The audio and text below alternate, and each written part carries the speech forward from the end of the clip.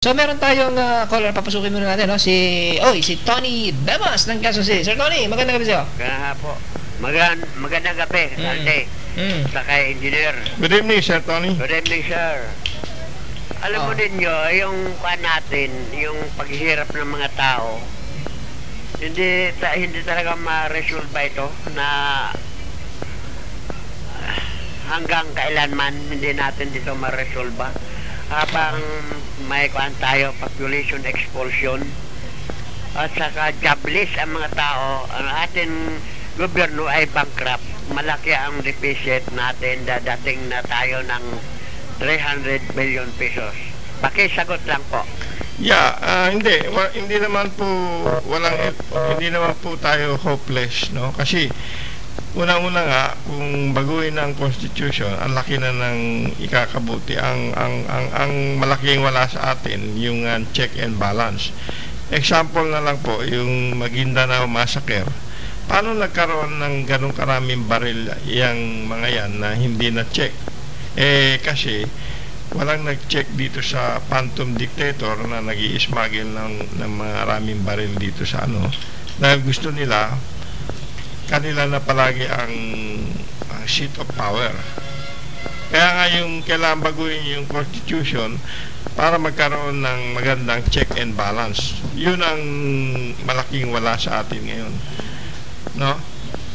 So kung kung maayos na yung ano yung tamang constitution wala na yung problema natin sa kagaya ng nangyayari sa Maguindanao tsaka yung ibang bagay pa na inexplain natin sa mga nakaraang ah, session natin.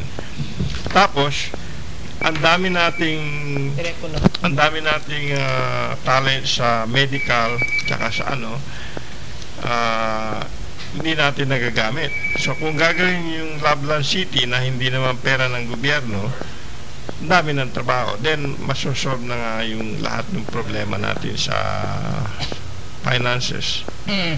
Actually, yung sinasabing uh, corruption ano ni ni Sir Tony ano. Mm. ah, actually, ah, accumulated naman 'yan eh, di ba? Yung utang lalo na yung utang, di ba? Aha. Dahil uh, syempre, yung lahat ng ah, naging pangulo naman ay ah, talagang ah, umutang din naman, di ba? At Mhm. dahil nga sa corruption nga, dahil walang check and balance, so ang ginagawa, yung bago yung uupo, dadagdag ng utang, dadagdag kaya given na ang papalit kay Gloria, tsak, mas malaki ang uutangin. Oo, makakautang pa. Kung may magtitiwala pa, o, di ba? Oh, eh, ang, ang ito, mula nung ang nag-uso nung bukod sa utang, binibenta pa yung mga dating asset natin.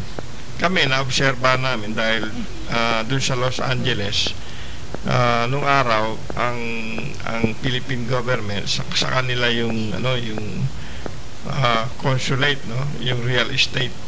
Tapos yung mga ang magiging consul general, meron pa silang mga bahay. May sobra pang bahay na pinapaupa. Eh ngayon, binenta na lahat yun eh. Tsaka pareho rin dito, mga military bases dito nung araw, binibenta na rin, di ba? Kagaya yung Mm. Fort Bonifacio, tsaka yung mga ano. Ah, saan napunta yung pera?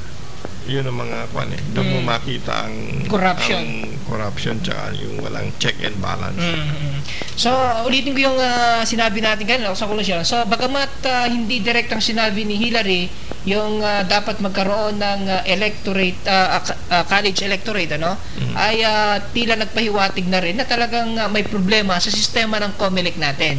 Dahil din sa pagsasabi niya na hanggat maaari iwasang maging ah, political appointee o may kinikilingang ah, politiko yung mga namamahala sa election natin. Yeah, exactly. Okay, no?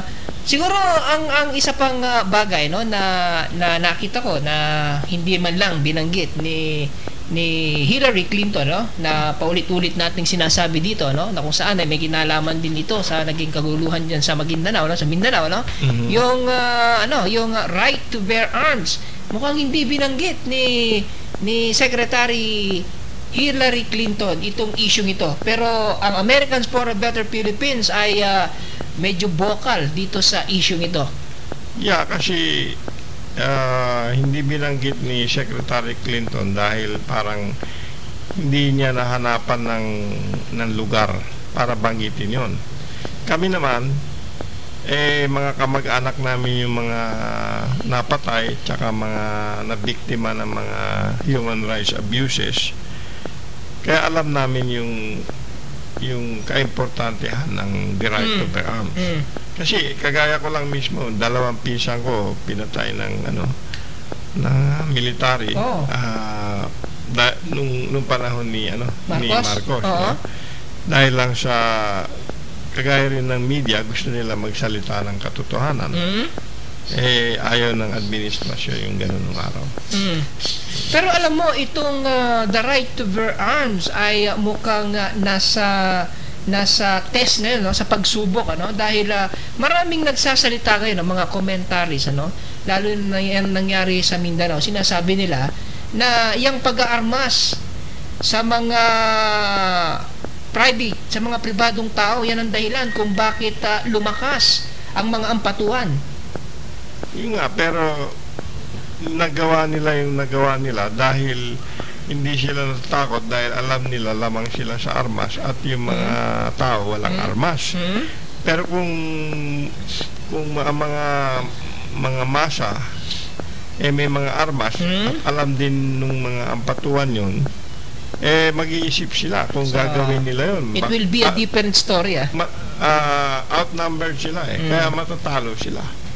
Pwede So hindi nila mangyari. gag- hindi nila sana gagawin yung ginawa nila dahil alam nila may armas din.